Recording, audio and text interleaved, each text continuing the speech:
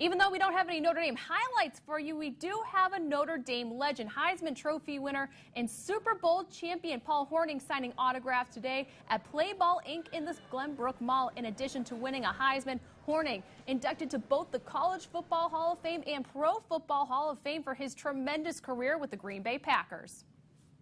He's got a tremendous lot of potential ahead of him. He's young, and uh, uh, I just, uh, you know, I, when I watch when I watch these youngsters out there playing, and, and I look back, and, you know, and, and, you, it's very hard to kind of watch football without putting yourself into that spot if you played it. But it's always good to go back to the school or the team that you played professional sports in and enjoy the games. That was Hornung talking about CJ Prosise, the halfback now over at Notre Dame.